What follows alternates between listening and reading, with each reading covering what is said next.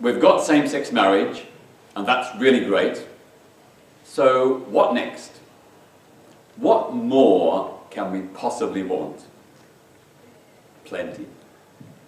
There's lots more to still do. It's true that all the major anti-LGBT laws have now been repealed. For the most part, we do have equality, but there are still some unfinished tasks. There's still lots of many small, irritating inequalities that remain and need to be remedied. So take same-sex marriage. We have it, but it's not equal marriage. What we have today is segregation in marriage law. There are two different marriage laws in this country. There's the 1949 Marriage Act, which is for opposite-sex couples only, i.e. for men and women. And then there's the 2013 Marriage Act, which is for same-sex couples only, two men, two women. Separate is not equal. To have two separate marriage laws, that's not true equality. Um, there's also discrimination in pension inheritance when one partner dies. Under both the civil partnership legislation and same-sex marriage law, when one partner dies, the surviving partner in a same-sex marriage or a same-sex civil partnership, they don't have the same right to inherit the full pension compared to if they were in an opposite-sex marriage under the 1949 Act. So just to give you an example, under the law it states very clearly that statutorily, that is on statute law, when in a same-sex marriage or civil partnership one person dies, the surviving partner can only inherit by law any contributions made to the deceased person's pension since 2005. So if they've been contributing to their pension pot since 1960 or 70, their surviving partner will not get any of those pension entitlements.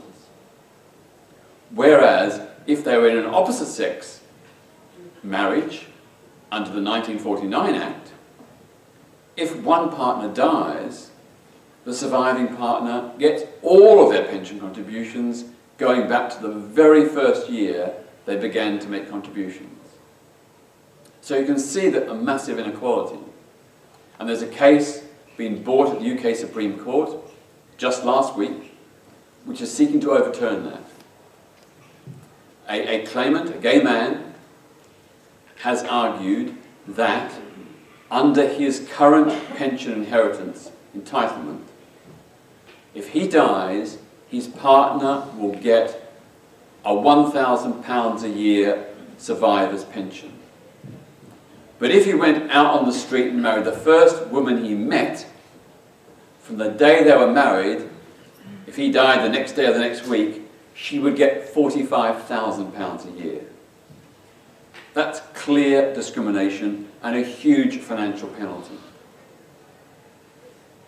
Another inequality in same-sex marriage is the so-called spousal veto whereby in a civil marriage, where one partner is trans, transgender, that person cannot get a gender recognition certificate without the permission of their spouse.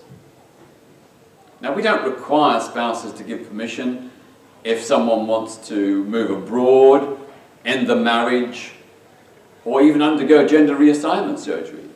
There's no spousal veto for any of those important decisions, but under the Same-Sex Marriage Act, a spouse can veto their partner getting a gender recognition certificate. And that's really, really unfair. And the other big inequality, of course, is that there is still a ban on same-sex marriage in Northern Ireland. In Northern Ireland, part of the United Kingdom, same-sex couples still cannot marry the person they love. And finally, enshrined in the Same-Sex Marriage Act is a prohibition by law on the Church of England and the Church of Wales conducting same-sex marriages. Even if they wish to, even if they decide they want to conduct a same-sex marriage, the law states they're not permitted to do so. So that's really, again, another clear example of discrimination. There are other inequalities as well. So, for example, we've got some fantastic equality laws to protect everyone in society against discrimination. That's a real milestone achievement. But written into many of those equality laws are limited qualified exemptions for religious organizations. Not just places of worship like mosques, synagogues, churches and temples, but also faith-run charities, hospitals, schools, nursing homes, and shelters for the homeless. Under the law, these religious institutions are allowed to discriminate against lesbian, gay, bisexual, and transgender people. Now, no other institution in our society has that opt-out, has that exemption. But religious organizations can discriminate by law on the grounds of sexual orientation or gender identity if they can show that it's necessary to preserve their religious ethos. Now, of course, I accept in a free society that there will be people of faith and religious institutions that don't agree with same-sex marriage, with equal rights for gay people, and so on. I'm saddened that they hold that view because, of course, all the major faiths have at the core of their values love, compassion, and kindness. So how can you fulfill those values if you discriminate? Um, nevertheless, nevertheless, it is the fact that same-sex couples and individuals can be discriminated against by religious institutions in certain circumstances. Um, I hope the law will change because I don't think people of faith should be allowed to discriminate and I don't think that's compatible with their faith either. Another issue we face is that trans people, transgender people, um, don't have a proper legislative framework. Yes, there was a Gender Recognition Act passed in 2004 which gives transgender people the right to legally change their gender in law, officially, and that's great. Yes, we have protection now against discrimination based on transgender identity. But, but, at the end of the day, the procedures for securing a gender recognition certificate are very, very onerous. They're not simple, they're not easy. There's lots of hoops and hurdles that trans people have to go through in order to get that certificate. So they must be 18 or over. They must live or work in their affirmed gender for at least two years and provide evidence of that. They've got to give evidence that they have been to a psychiatrist and got a diagnosis of gender dysphoria. And they've got to provide a declaration of their intention to live in their affirmed gender for the rest of their lives. That's quite a lot of asks. I would take the view that if someone believes and feels they're transgender, they should be able to simply affirm that and get a gender recognition certificate. They shouldn't have to go through all those hoops and hurdles. And that is the model of law in other countries like Ireland and Malta. So I'd like to see the Gender Recognition Act amended or modified to make it easier and less onerous for trans people to be able to get a gender recognition certificate. Then there's the issue of bullying in our schools. We know from the evidence that over half of all young lesbian, gay, bisexual and transgender kids have been bullied at school because of their sexual orientation or their gender identity. And this ranges from name-calling and teasing to threats, menaces and actual physical violence in the playground or the classroom. Yet, Still today, less than half of all schools have an anti-bullying program that explicitly addresses anti-LGBT bullying. they may have an anti-bullying program, but often it doesn't include LGBT issues. And we also know that faith schools are some of the schools where you have the most anti-LGBT bullying and where the staff do the least to tackle it. So there is still work to be done to make schools a safe place for LGBT kids. Now, the consequence, of course, of bullying is that young LGBT kids will often underperform at school or even truant. Uh, they will suffer from depression, anxiety, and sometimes have suicidal thoughts or even attempt suicide. Now, surely we have to stop that. We have to stop that by making sure that anti-bullying programs do address prejudice against LGBT kids. Likewise in the wider society. We know from surveys that about a third of all LGBT people, that's nearly one million people in Britain, have been victims of homophobic, biphobic or transphobic hate crimes. That's really shocking. And again, it can just sometimes be low level in the terms of you know, insults and abuse. You know, it's low level, but still wrong, uh, to ranging up to actual physical, violent assaults. We also know that many LGBT people have not been just a victim of anti-LGBT hate crime once in their lives. Some have been multiple victims, three, four, five times over the course of their life. So again, we need to do something much more to tackle those hate crimes in the same way that we now rightly tackle race hate crimes, hate crimes against Muslim or Jewish people, hate crimes against women and others. You know, these are really serious, damaging impacts. You, some of you may, remember that even in a big, multicultural, liberal city like London, LGBT people are still not safe. Just a few years ago, a 62-year-old gay man, Ian Baynham, was kicked to death in Trafalgar Square. In the heart of the gay village in Soho in London, there are regular violent attacks upon LGBT people. You know, this shouldn't be happening in the 21st century. What do we do about it? Well, again, education is often the key. But education is often failing LGBT kids. So, if we take sex and relationship education, you'll be pleased to have heard last week the government has announced that it's going to henceforth make sex and relationship education compulsory in every school. Up until now it hasn't been compulsory, and lots of schools either haven't done it or they've done it very poorly but now it's going to be mandatory. But it doesn't or won't include mandatory lessons on LGBT issues. So what message does that send to LGBT kids if they're not included in sex and relationship education? They will feel left out, neglected. They will feel unvalued, unaffirmed. Likewise, if they don't have good quality sex and relationship education, they will be more likely to be at risk of HIV and other sexually transmitted infections.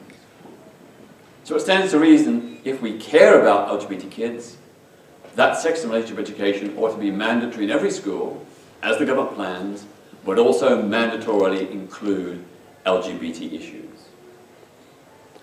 On top of that, we need mandatory equality and diversity lessons in schools to challenge not just homophobia, biphobia and transphobia, but racism, misogyny, prejudice against Muslim people, prejudice against Jewish people, prejudice against refugees and asylum seekers. We need those lessons to challenge all forms of prejudice. And they should start from the very first year of a child's primary education and continue regularly all throughout a child's life. Now, why do I say that? It's very simple because we all know that no child is born bigoted. No child comes out of the womb with prejudice. That's learned behaviour. Learned sometimes by bigoted family members or other kids. And where equality diversity lessons have been tried in schools, the level of bullying goes way down, the level of hate crime goes way down, the level of depression, anxiety, and mental health among LGBT kids goes way, way down. So it really does work. It really does make a positive difference. And I just can't understand why the government, why successive governments, have not made this a priority. Because I think all of us want to grow up in a society where we are accepted, where we're treated with dignity and respect, where we get on well with other people around us, where everyone's happy and no one feels excluded or discriminated against. Education can help make that happen. Another issue which is unfinished is, of course, the sometimes unequal way in which the law is enforced. So we may have good equality laws, but it all depends on enforcement. Do the police actually enforce these laws to protect LGBT people against hate crime? Do they enforce the law to stop discrimination and harassment in colleges, universities, workplaces, and so on? And often they now do, which is great. It's a big improvement from the past. But sometimes they don't. So some of you may have heard of the eight Jamaican reggae and dancehall singers, people like Beenie Man, Elephant Man, Vybz Kartel, Capleton, and so on. They have been putting out tracks some years ago which openly advocated the murder of LGBT people. Their tracks said to variously shoot, hang, burn, and drown LGBT people. One of the most famous of those songs was Boom Bye Bye by Buju Banton, where he advised people to get a gun, shoot a queer in the head, and then burn him alive. These songs were being openly performed and given airtime on radio in this country. It took a five-year campaign by the LGBT group Outrage to stop those lyrics being promoted. Now, I'm certain if a white singer had put out a track like that advocating killing black people, he would have been immediately arrested, tried, and jailed. But none of these singers were ever taken to court. Not once. You've also probably heard of cases of extremist Islamist clerics who say that gay people should be put to death. So some years ago there was a sheikh, Sheikh Abdullah al-Faisal, who advocated the killing of Jews and Hindus. He was arrested, put on trial, convicted, and sentenced to nine years jail. Yet around the same time, Imam Abdul Muhid in East London said exactly the same thing, and he said, go out and kill homosexuals. Even though there were four witnesses, there was no prosecution. So why the double standards? Why is it when you say kill Jews and Hindus, you get nine years sentence? And when you say kill gay people, you get nothing? Another issue we have to face is the fact that currently, under the rules for donating blood, any man who's ever had oral or anal sex with another man in the previous 12 months is prohibited from donating blood. Now, of course, we should protect the blood supply. And if someone is at risk of HIV or other sexually transmitted infections, it's very important they do not give blood. But this is a blanket rule. It says that if you've ever had oral or anal sex with another man in the previous 12 months, you can't give blood. Even if you're in a monogamous relationship, even if you never have risky sex, even if you always use a condom, you can't give blood. Yet, a heterosexual businessman who goes to New York and has lots of unprotected sex with women in a city where there's a huge heterosexual HIV epidemic, he can donate blood. Again, it's double standards. It's one law for straights and another for gays. That's not fair. In reality, of course, we could ask gay and bisexual men a few more questions on the blood donation form to identify their degree of risk. And of course, any men who are at risk of HIV or other sexual infections should not be given blood, should not give blood, and should be uh, prohibited from doing so. But those who are not at risk and who test HIV negative, they should be free. We don't need a 12-month exclusion period. It could easily be reduced to about three months and still protect the blood supply. The final issue I'd address is the way in which LGBT asylum seekers are often treated.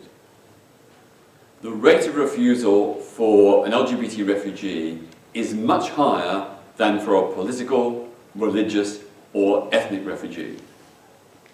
Um, on first application, the overwhelming majority of LGBT refugees are refused asylum, even where they have strong, compelling evidence.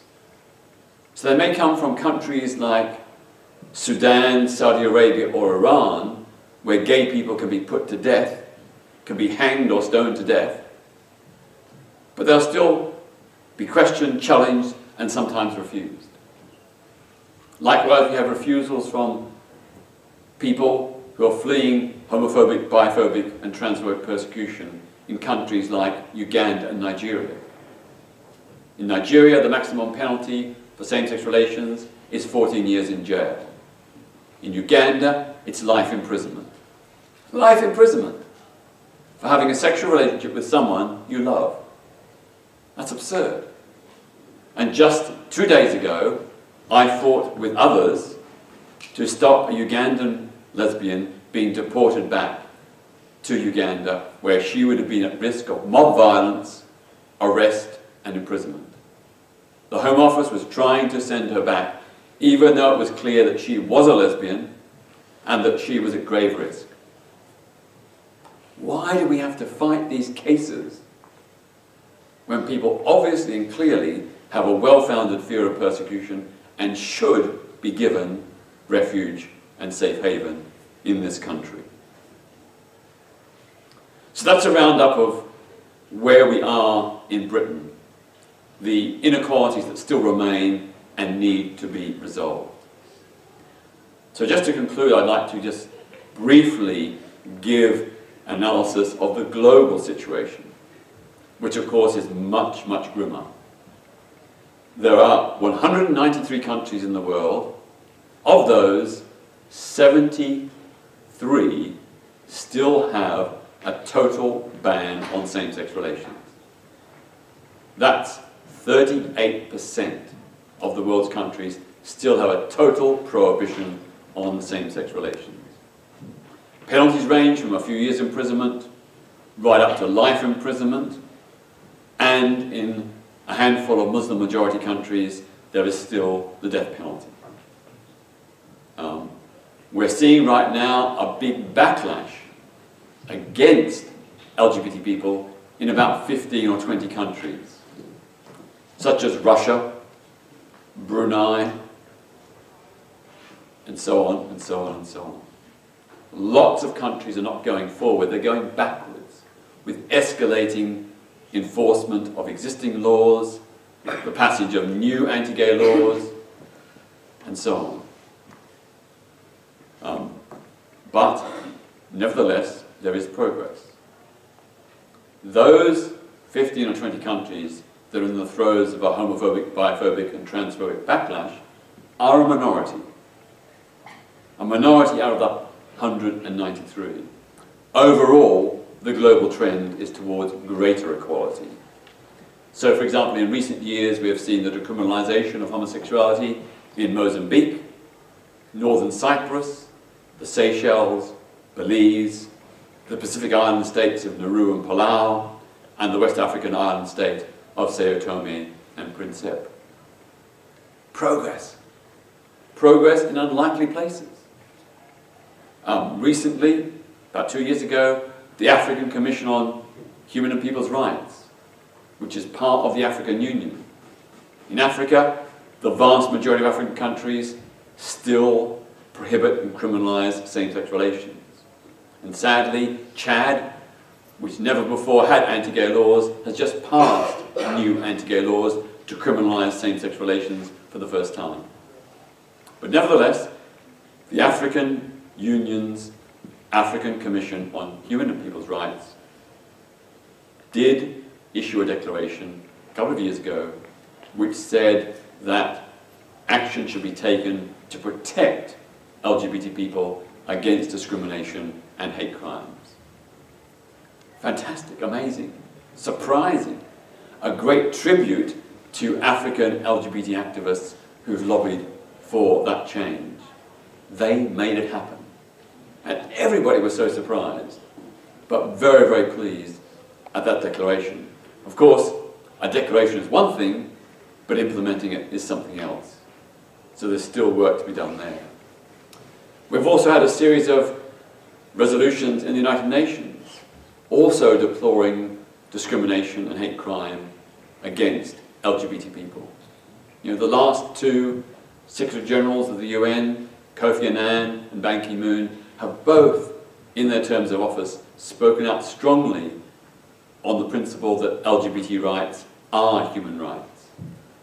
Just recently, a new UN expert on LGBT issues has been appointed. There was a big, big fuss over it, and many of the African and Islamic countries tried to block his appointment, but they were defeated. Narrowly, but defeated.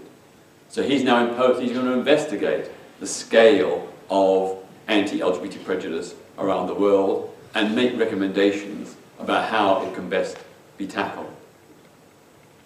In the Commonwealth, you know, the Commonwealth, which has a chance in which proclaims universal human rights for all Commonwealth citizens in every Commonwealth country.